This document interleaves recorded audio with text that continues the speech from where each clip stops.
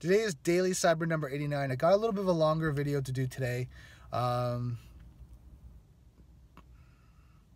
and it's in context of kind of cybersecurity awareness, our cybersecurity self-defense that we need to start doing it on ourselves and, and really being serious about. I'm going to go into a little bit now, but I'm going to actually go into uh, more in depth later. I'm just at, if you can see in the background, just at the driving range. Uh, and it's, I think, around 7 o'clock right now. What we need to be aware of is the information that we're talking about, personal identifiable information, or just confidential information in, in common areas. And I think what's happening, and, and to give you context, I was out at Whole Foods um, over the weekend, and I was eating, just having lunch on my own, and as I was eating, and I just was going through this cybersecurity and uh, CompTIA Security Plus, and I was hearing people's conversations, and I think as I start to do more cybersecurity, I start to you know, just like a self-defense course, if you took a self-defense course, you start to be more aware of the things around you, what you're doing, your your awareness, you know, what other people are doing, if you're in the right environment. And what I found was as I was going, I was listening to people's conversations, I was eavesdropping, and not in the sense that it was hard to do. I mean, people were talking out loud, and I was maybe three or four tables away, and I could hear people's conversations right? Very clearly. And what I was hearing was a lot of confidential information or personal identifiable information or information that I potentially could compromise people.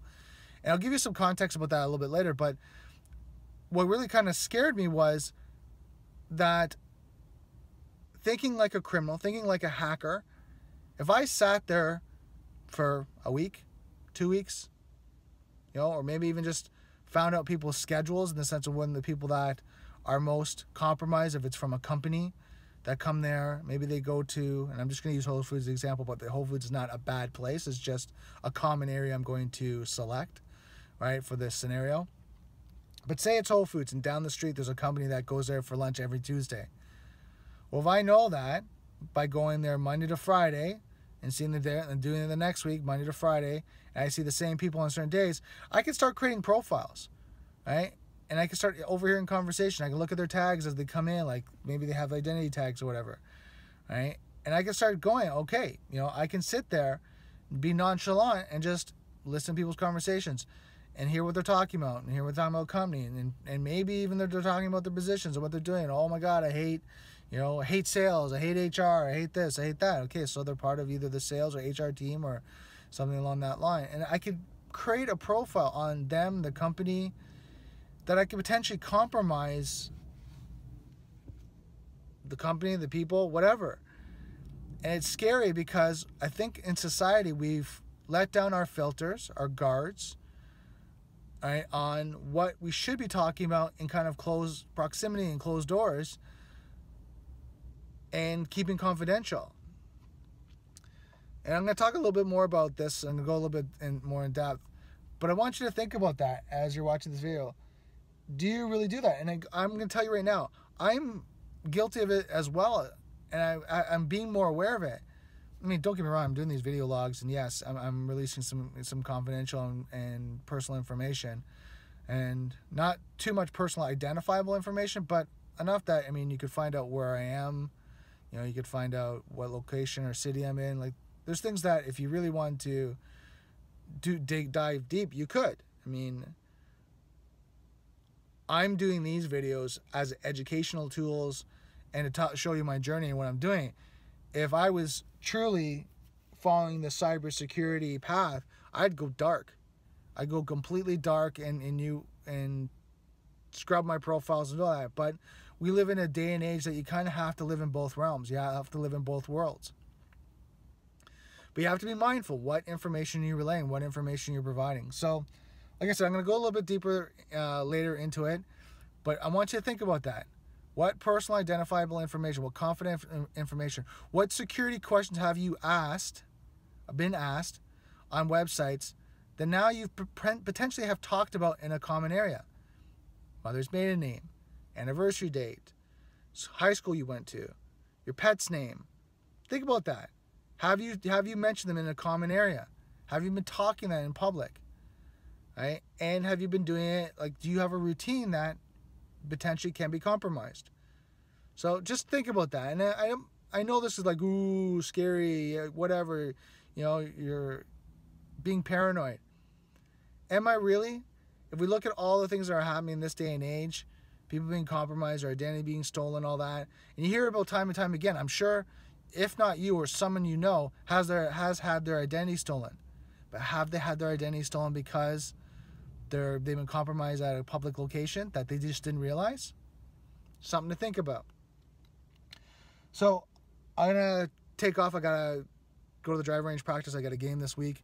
But yeah, I'll continue this video and talk about a little bit later. This video is gonna be a little bit longer, but I wanted to give you some some information, some guidance, and some cybersecurity awareness so that you can start making decisions and implement and be aware of your surroundings. Okay, so I'm going to continue with uh, what I was talking about this morning. Uh, busy day. Uh, did a little bit of studying, not as much as I should, uh, to be completely transparent. Uh, just a lot of stuff catching up. Today's my kind of Monday, so generally a busy day of doing like a lot of paperwork and catching up and organizing things. So going back into personal identifiable information, confidential information, and common areas. I'm getting ready just so you know why I'm in my kitchen. Uh, the reason why is I got to start cooking dinner and I wanted to get everything prepared uh, so I can have dinner in about half an hour. So I'm going to try to make this quick. Uh, I don't want to make it too long because there's a lot to cover in my mind and I'm just going to lay it out. So when we're looking at personal identifiable information, confidential information, look in the sense of what you use to secure any of your um, platforms, areas, places you log in, websites, uh, any area that you, you try to gain access to that has levels of security. So we can talk about bank accounts, uh, email, software as a service, all these other infrastructure uh, sites where they might have layer uh, two point of, uh, of authentication. They might have security questions. And what you really want to do is you want to look at, and uh, we'll be specific about looking at security questions, because this will kind of, I hope, hit home. Uh, when you're looking at security questions, go through these security questions, and I'll give you some examples that I know off the top of my head. Like they ask you, you know, where were you born? Uh, what's your grandparents' maiden name? What's your parents' maiden name? What's your dog's name? What's your favorite movie? What's uh, the high school you went to? So they're asking all these questions. So now I want you to do is this. I want you to go to one of these sites that ask you these security questions, and I want you to write the questions down, and I want you to write your answers down. Then I want you to go to your social sites, and I want you to see if you can do an investigation on yourself and see if you can find those answers. These, this is the way hackers think. That people are going to compromise you. Right? And we'll talk, about, we'll talk about black hat hackers. Right? People that want to do malicious intent to hurt you or harm you. So if you can find, you can look at those questions and you can find the answers on public social sites and you think, okay, well, maybe my Facebook, and I'll use Facebook as an example. Your Facebook's secure, no one can get it, you have hid your profile. But what if I become a friend of another one of your friends who is completely open, who is part of a marketing company or business, and they're trying to market to everyone, connect with everyone, their friend, their family members, you name it, doesn't matter. Worldwide, they're just friending everyone. Well, what if I can connect with them, and through them, I see your actions and what you're doing? This is a way that you get compromised, right? And this is what I'm saying. You have to look at how you're relaying this information. I'm showing you on social sites, I'm giving this example, but now let me ask you this. What if you're in a common area and you're talking about certain things? You're talking about your family, your friends, your dog, your anniversary. You know, you're talking about what you did this weekend with your husband, your significant other, whatever that may be, your kids. And you're in a common area where people can overhear you. And now, through that conversation, I, as a black hat hacker, for example, I'm an ethical hacker, so I'm not but as example, if I'm a black hat hacker, maybe I want to corrupt you in some way. I'm looking at, you know, I don't like the company you work for, I don't like yourself, whatever.